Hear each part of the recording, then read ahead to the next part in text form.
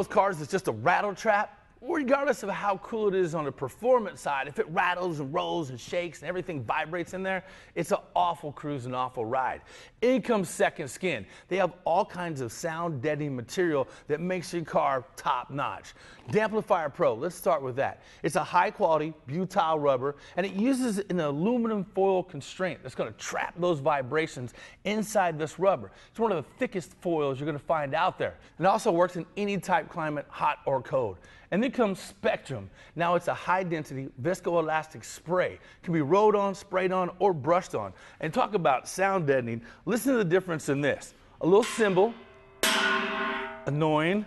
Now with Spectrum spray on it, crazy difference, right? It's unbelievable, actually. And if you want to get car even quieter, you could drop on some Luxury Liner Pro. Now it's going to trap any airborne noise you may have. So any sound deadening material you may need in your ride, check out Second Skin.